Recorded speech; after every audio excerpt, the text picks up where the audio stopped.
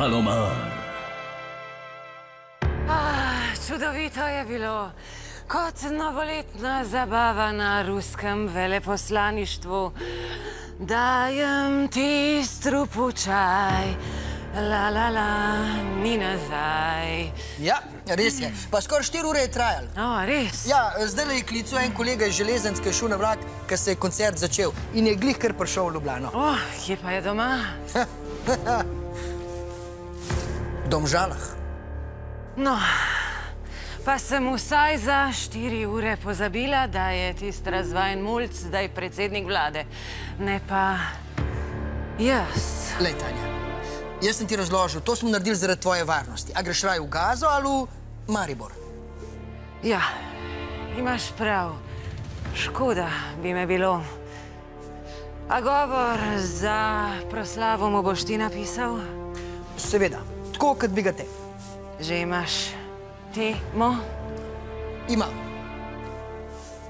Čas je, da opozorimo na pomembno lekcijo, ki nam jo je dal majster. In to je, da se nam majhnosti ni treba bati.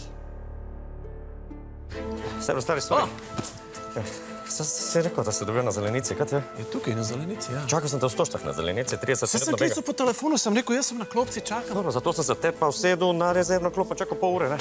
Dobro, nema veze, ajde, kako lahko pomagamo? Lej, zadeva je taka. Od torka naprej na teh lestvicah priljubljenosti je Sigurno. vlada zelo, zelo, zelo nizko. Sigurno. Na drugi strani futbol reprezentanca zelo, zelo, zelo visok. Sigurno. Zdaj mi smo razmišljali, če bi mogoče bila neka rešitev, da bi to razmerje sam malo spremenili, da bi se to popravili, da bi šlo, a veš. Dobro, čakaj, nekaj pera, zdaj, kak, kak, kakve lestvice, kako razmerje, kaj to so neke stavili, kaj? Ne, ne, ne, Pa to zastave moraš kariča poklicati, on ti je ekspert za to, ne pa jaz, jaz se na to ne spoznam. Ne, ne, nis, nismo se najbolj razumeli. Lej, mi bi sam radi, da zdaj se ljudje začnejo čim več, čim več pogovarjati o futbalu, Sigurno. ker pol se bojo manj pogovarjali o vladi. Sigurno. Se pravi, smo razmišljali, če bi mogoče bila neka aferca, nek sporček s selektorjem, nek rasističen TikTok, neka drobnarija. Čist... Zato si mene poklical, kaj? Zato sem jaz prišel iz Maribora v Ljubljano, pa kaj ti je? Ja, ko zadnjič v Koreji je bilo to zelo. Se pa dobro, pa ti veš, kdo sem jaz?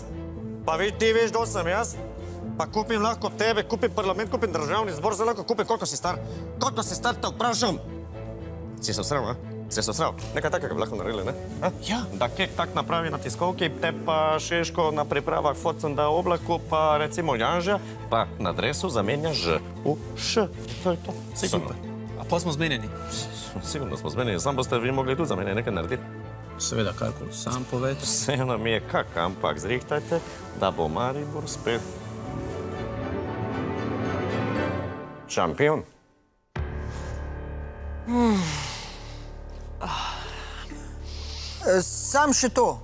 Kdo pa je un Nemc, ki si se prej slikala z njim?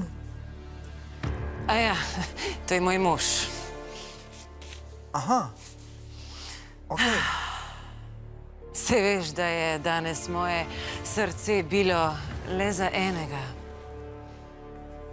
Za ta nasmeh, za ta pogled, za to lobanjo gladko kot svila.